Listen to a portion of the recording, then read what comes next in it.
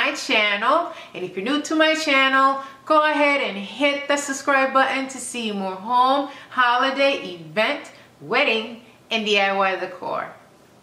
Today I'm to show you how to make the very popular dessert cart that you are going to love.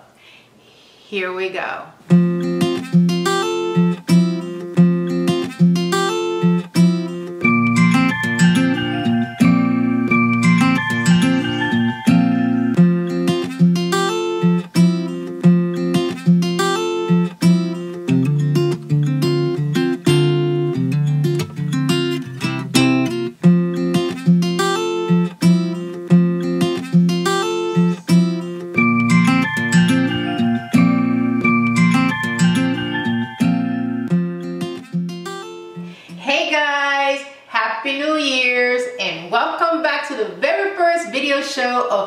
2019 which I am so excited about because I just know, I know that 2019 is going to be an amazing year. It's to be my year. um, this year I want to make projects that are on my wish list and by that I mean that I have a wish list of things that I would like to have for my events and I'm just going to start making them right? Why buy them when I can make them for cheap? All right, guys, without further ado, let's get started with the video. I'm going to start off with painting and um, I like to get the painting out of the way so it can dry while I make the rest of the project. And right here I have a 23 inch wooden wheel that I got from Target. And I got two of these for 40 bucks and um, if I was making the project all wood, I would totally leave it untouched because it is beautiful. I'm actually um, a little upset that I have to paint it, but I do want a white cart. So um, I guess for the next one, I will leave it in wood. All right, so I am going to go ahead and paint it in um, white. And this is a matte white. All right, so let's do it. Okay, so while I wait for the wheels to dry, I'm going to move on to the uh, main area of the carts, which will be, I guess, the tabletop where the desserts are going to go on. And um, this is melamine wood, and it already comes in white. This is actually also called shelving wood. This is what is used um, in closets to make the shelves. And this piece came in 3 quarters by 48 inches but I ended up cutting it and now it is 3 quarters by 36 inches.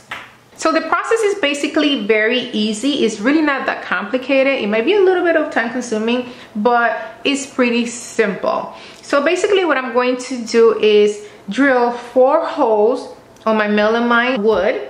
And this is a 316 drill bit. So I'm going to be drilling all the way through on all four sides and then I'm going to be using these balusters. That's what it's called at the stores. I call them rails.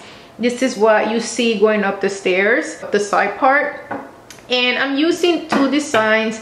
This one that is just a piece of wood um, came in 41 inches and I cut them into uh, 32 inches and these are going to be the legs so these are going to go to the bottom and this right here I did not cut them they're untouched uh, with the design is going to go on top which is going to hold the roof of the cart. And I'm also going to be using four so four of each okay?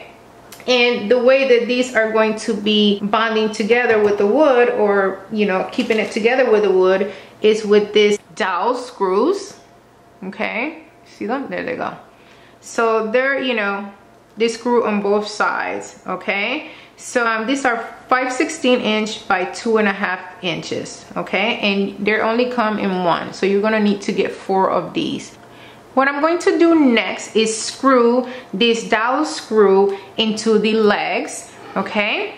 And I'm going to pretty much um, screw it in halfway in and then um, I'm going to put it through um, the uh, melamine wood and then I'm going to screw the other part right on top of it Right now, it may not seem to make a lot of sense, but I promise you it's very, very simple. And I'm just gonna go ahead and go step by step, okay? To screw in the dowel screw, you are going to need a drill. I am using a 316 drill bit. You're also going to need a plier, a rag, and of course, the dowel. Um, and you are going to first drill a hole through here. Okay, it has a mark already. And you're just going to go all the way down. And it should look something like this. Then you're gonna grab your dowel. And you are going to place it right in there. Okay? See that? Okay? And this is where the pliers and the um, rag comes to play. Okay and my husband gave me some very specific directions on how to do this but um, yeah I'm not sure if I'm gonna be following it okay? So the the purpose of the rack is so you won't you know you won't lose the grip you know once you start uh, turning it. So the um, rack is going to protect it all right? So I'm just going to turn it until it's in there halfway So I decided to do less than half, just a little bit, uh, just because I want to take into consideration that the melamine wood is going to go here and then the other uh, rest of it is going to go on the upper rail. So um, I'm going to leave it as it is. If I need to make any adjustments, I can just screw it in a little more. Um, but first, I am going to go ahead and make the holes on the melamine wood. What you see right now is me trying to figure out where I want my holes to be on my melamine wood. And what you see here in the middle is actually foam board. I'm going to be using foam board to make my back panels and side panels instead of wood so it can be a little more affordable. For the measurements all around, it's going to be two inches from the side and then you're going to have one inch front and back, okay? And then in order for you to measure where the hole is going to be, what you're going to do is grab your ruler and measure from the edge to the hole, which is half an inch.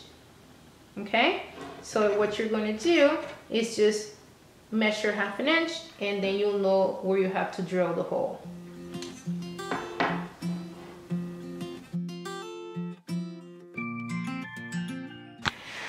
All right guys so um, the hole is too small. So now I'm trying 3 8 which I think is going to be perfect. Uh, I'm just gonna go very slow though. I'm going to flip it over in order to place the legs right on there Okay, so the legs are on, but it's a little wobbly because I need to place the other rails right on top. And for this one, you're gonna have to drill a hole right on there, as you can see. Where is it? There you go. Okay, and I use a 316 uh, bit for that, all right? So I'm just going to go ahead and screw it right in.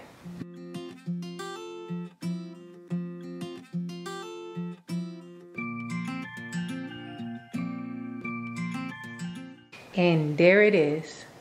Okay guys, so now I'm going to be polishing the look of the cart. And I got this edge banding. This is a white iron-on melamine edging band. So basically what this is, um, as you can see, there's exposed wood right on the melamine. Okay, so what I'm going to do is place this band right on it so it can cover that up okay? And you're supposed to iron it on. So I am going to show you what you have to do. First, I'm going to sand the wood to make sure that it's smooth once I place the tape.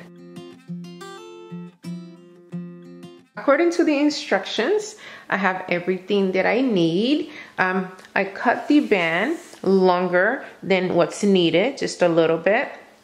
And behind it, you can see the glue, okay? So that's how the iron comes into place. It's going to melt the glue once you iron it. And then you gotta have something to smooth it out. It says a block of wood or a roller. I don't have neither of them, so I'm using my wood spatula. Close enough, right? so yeah, I'm gonna go ahead and place it on.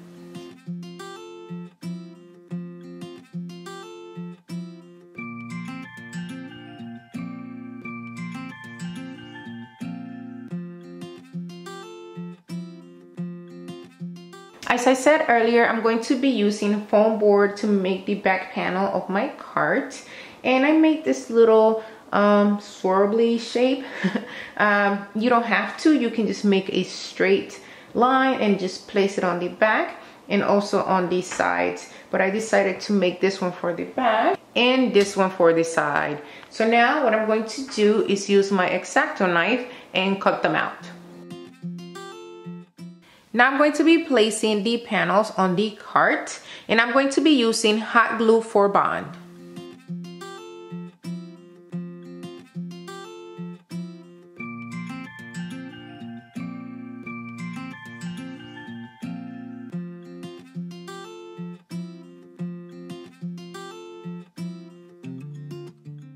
And here I'm going to be cutting my side panels. This is basically one full foam board and I measured it and I just traced a line down and I'm just gonna get my X-Acto knife and cut it and then I'm going to glue it on the sides.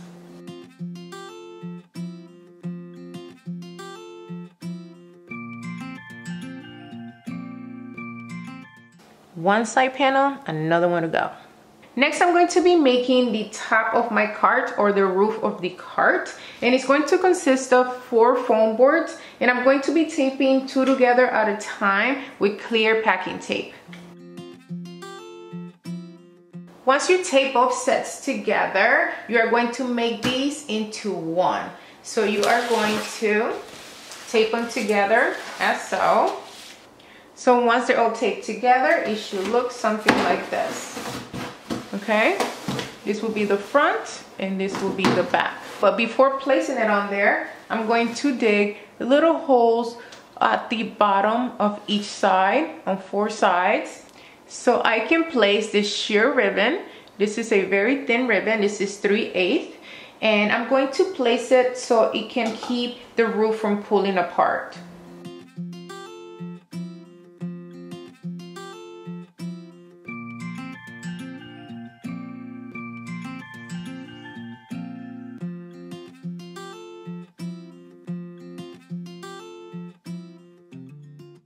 So the top of the cart is only 22 and a half inches, but I want the roof to be or to go over the rails instead of on the rails. So I'm going to give the ribbon some slack. So it's going to be about 29 and a half inches instead. Uh, so I'm going to give it about seven more inches.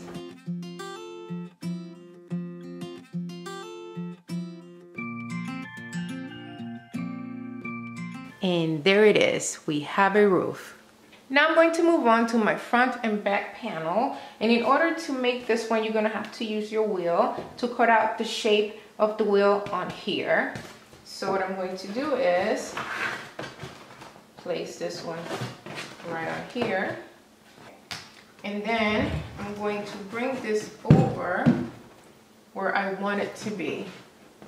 So right about here, okay? And then you are going to draw the wheel on here. And then you're going to cut that part off. I hope you were able to see that. And there it is. Now I'm going to disappear into the back to glue this on to mount my wheels, I'm only going to be using thumbtacks and hot glue. I don't want it to be permanent on the cart. Uh, I want to be able to take it on and off. And um, I think in that way it will not damage my legs as well. So I'm just going to um, hammer this in, add a little glue around it so it can be snug around the wheel hole right there. Play around with the hot glue in circular motion. And I'm sure there are many other ways for you to mount this, but I'm pretty much using what I have. Once you've gone over it a few times, it should look something like this. All right, guys, this is it. This is my dessert cart, and it is absolutely outstanding. I must say, guys, I am wowing myself on this one. this is so cool. You can use it for any occasion guys. And it was so easy to make. It's a little time consuming but oh my goodness it's a cart. I also added script stickers from Michaels to spell celebrate. And of course you can change it into wedding, baby shower, or the name of the person whose party is going to be for. Love it. I hope you guys enjoyed this video and if you did, please make sure to give me a big thumbs up and make sure to leave in the comments below what you think of my dessert card. Also, let me know other projects that you would like to see in the future because right now I'm feeling very creative. so make sure you leave that down below and make sure to share, share, share with your friends and family members if they're gonna have a party soon. And yeah, make sure to also join if you haven't joined this channel because there will be a lot of nice perks coming up in 2019. All right, guys, until next time,